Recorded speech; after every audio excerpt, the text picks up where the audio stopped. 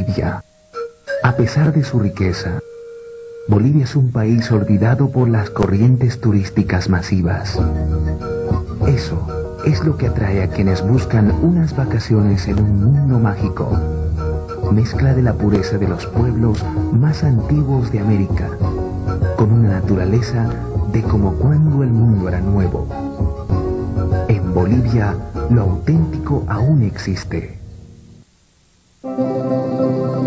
Encerrada en el centro de América del Sur, Bolivia esconde lugares capaces de dejar sin aliento a quienes han llegado hasta los rincones más extraordinarios de la Tierra. Y esto se debe a su altura excepcional, a sus tesoros naturales y a su gente.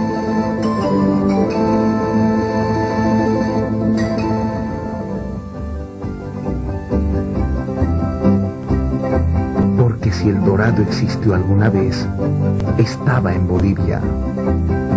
En las culturas de sus 37 grupos étnicos, en la riqueza de unas tradiciones que se remontan a los tiempos más antiguos de América, tiempos en los que Tiwanaku, que sirvió de antecedente e inspiración al imperio inca, ni siquiera existía.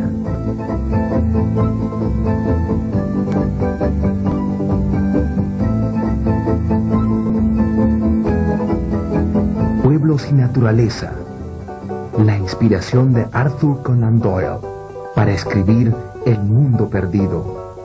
Lugares llamados en muchas lenguas diferentes el Jardín del Edén, como la jungla del Beni, en el Amazonas boliviano, con más pájaros, flores y animales por metro cuadrado que ningún otro lugar del planeta.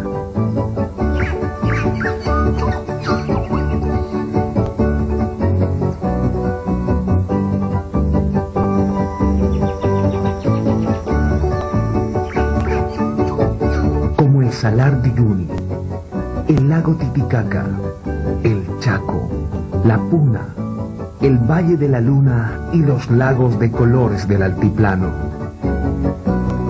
Montañas nevadas, saltos y cataratas, glaciares, selvas vírgenes, desiertos de sal, parques nacionales y reservas de la biosfera. Lugares de como cuando el mundo era nuevo que desafían el espíritu de quienes buscan adrenalina.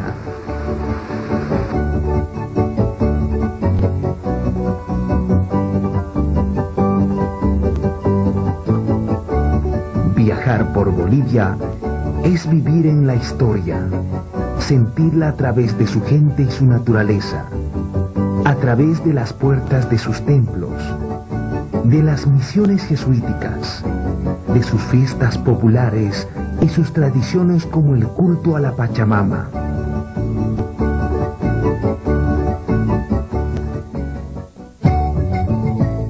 Testigos de la historia que, después de cientos de años durmiendo, vuelven a ser descubiertos al comienzo de un nuevo milenio. Bolivia, lo auténtico aún existe.